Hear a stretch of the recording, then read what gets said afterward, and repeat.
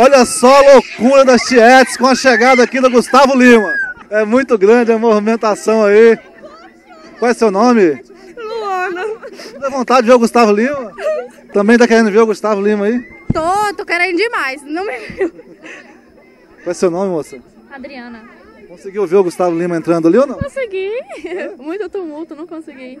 Amanhã tá na esperança ainda. Esperança, claro, sempre. Esperança é a última que morre. Última. side.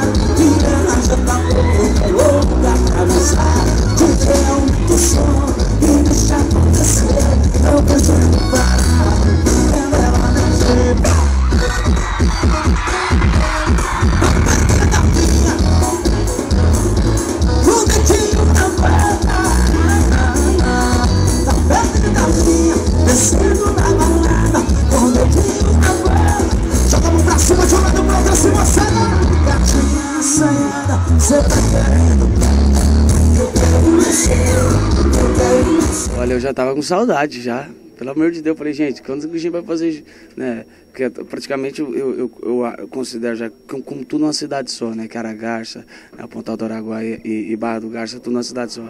E a gente já tava morrendo de saudade, tava morrendo de saudade de, de, de voltar, né? A cantar aqui, cantar pro público daqui. A gente veio cá no ano de 2012, né? Acho que foi no começo de 2012. É a terceira vez, com certeza é a primeira vez aqui na, na, na exposição. Então eu estou muito feliz de ver pessoas que a gente já viu aí um, dois anos atrás, né, com a gente aqui. Tenho certeza que o show vai ser maravilhoso. Então eu estou muito feliz de estar aqui de novo. Fala um pouquinho agora da carreira internacional. Estados Unidos, México, agora Europa. Né?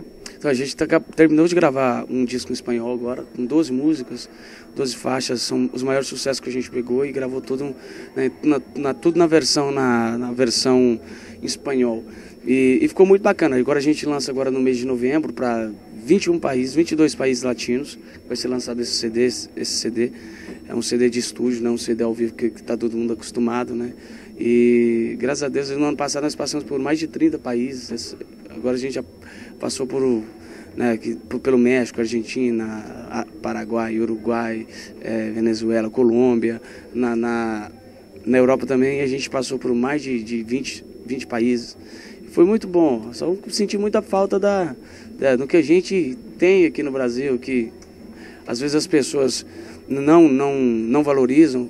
Por exemplo, quando a gente vai viajar para fora, às vezes a gente chega num hotel, né, um hotel bom, você vai pegar o cardápio, você não entende nada do cardápio, né? Você fica com saudade daquele arroz com feijão, um bife, um negocinho assim. Então, isso sempre em todo hotel eu reclamo, né? Falo, gente, pelo amor de Deus, vamos valorizar a nossa comida brasileira, que é um, arroz, um feijão, um frango com quiabo, né? Um, um ovo frito, que é a nossa comida que, que as pessoas simples gostam, né?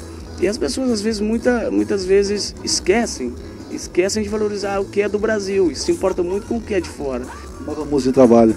Nova música de trabalho a gente lançou anteontem, né, dois dias atrás, a Fui Fiel, uma música maravilhosa. É um, a gente praticamente está voltando agora a, ao nosso primeiro DVD. O nosso primeiro DVD foi Inventou dos Amores.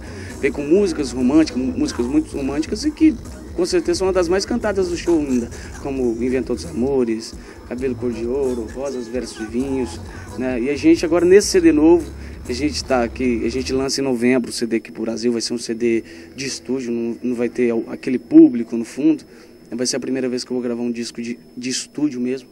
Né? E, e, as duas músicas de trabalho, as duas primeiras músicas a gente já soltou, foi a Diz Pra Mim, né, que a gente virou a faixa agora, que é a Fui Fiel, a nova música de trabalho. Hoje eu acordei com a saudade de você, saudade de você, saudade de você.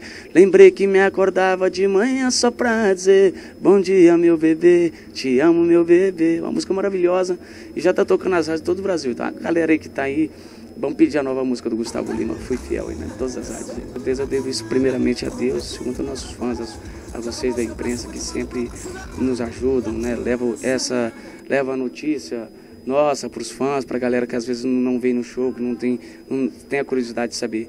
Então, com certeza, a pessoa que tem Deus no coração tem tudo.